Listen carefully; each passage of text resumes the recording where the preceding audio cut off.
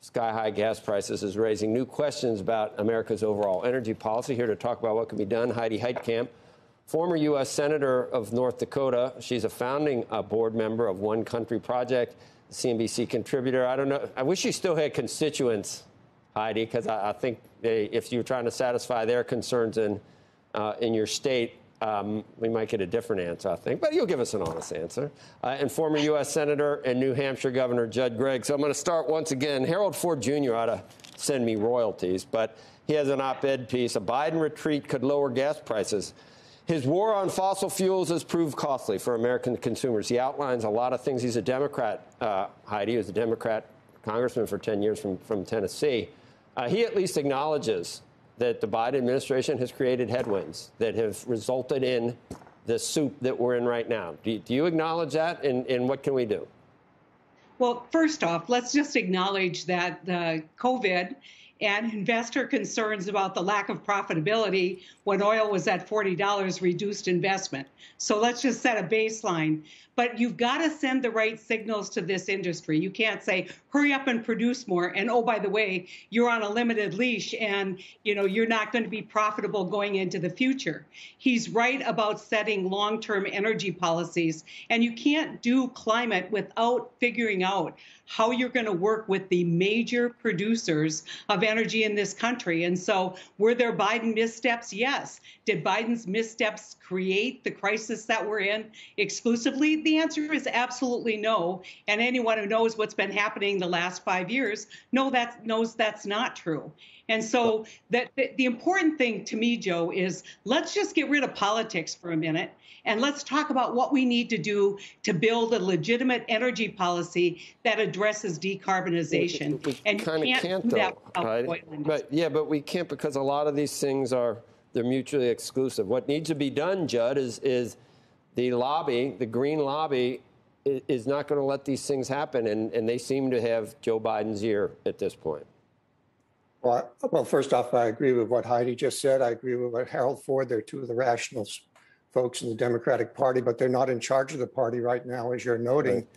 The party is being run by uh, the Green Movement, uh, the ESG movement. Uh, to some degree, I think there are actually crocodile tears coming on the si- on the price of gas because a lot of these folks for years demanded the price of gas go up so that there'd be less utilization and we'd move out of uh, cars that were running on gas to cars that were running on electricity. So I do think it's it's somewhat disingenuous.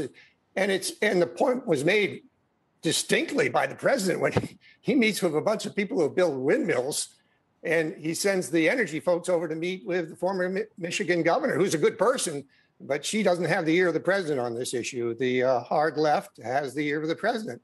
Uh, to solve this problem is pretty simple. Uh, three words supply, supply, supply.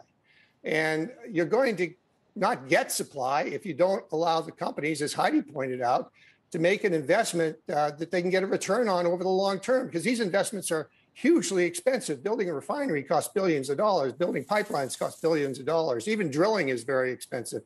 Uh, and if they don't think they're going to get a return on it, they're not going to get capital to invest in it, and you're not going to get the supply you need. But we we have more oil and gas than any other country in the world, with the exception possibly of Saudi Arabia, although we're competitive there.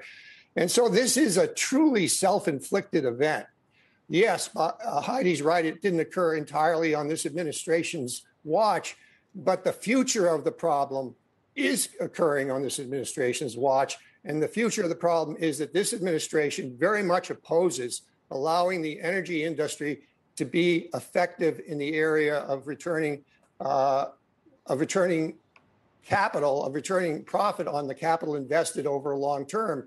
And that basically is why you're in the out years going to continue to have this problem. I do suspect, however, that we're going to see some demand destruction occurring here fairly soon. People are just going to stop using as much gas as they historically used. Uh, and thus, I, I, actually think the price will come down.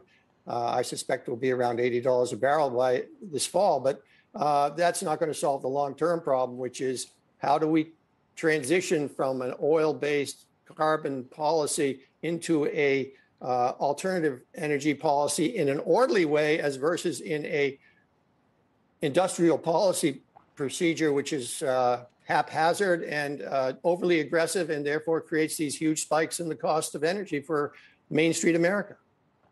Heidi. Uh, yeah, I mean, if you guys were looking for a debate today, this is this is one of those rare occasions where uh, the governor and I are absolutely in sync. You cannot do what this administration set out to do, which was to decarbonize in five years, 10 years, whatever their, their goal was, without sitting down with the industry that produces the majority of energy in our country. And one of the things that hasn't been talked about, Joe, has been we're going to go into the winter heating season. We're seeing record high electricity prices. We're seeing record high natural gas prices. This isn't just about gasoline at the pump.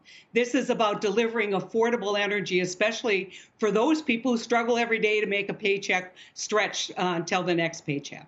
And even more important than that is what's going to happen in Europe. I mean, yeah. they're going to go through a horrific situation, uh, and it's going to cause a, a, very severe recession and obviously a lot of uh, trauma for the European people.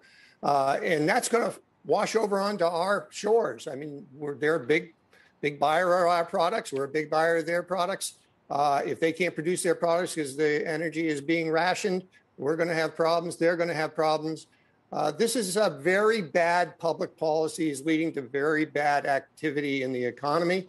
Uh, when you put industrial policy on a political correctness track as versus a market-oriented track, you end up with bad things happening to an economy, and the people who suffer are Main Street America. Yeah, and it's it's just not policy, Governor. You got to re- recognize that we had a pandemic, which reduced supply, which reduced investment. Coming out of that, we saw a big spike in demand, which created supply-demand challenges. And then on top of that, you have a war, which created huge energy disruption in Europe. And so all of these coming to a confluence creates a real, I think, opportunity for all of us to think about what does that energy policy of the next 30 years look like? And if you're saying we're going to totally get rid of fossils in the next 5 years you're living in some kind of dream world. It's not going to happen. You know just that we could even get into the discussion about critical minerals and battery storage. It, we just have to be realistic and apply facts to our problems. Well, well you're absolutely right on everything you just said heidi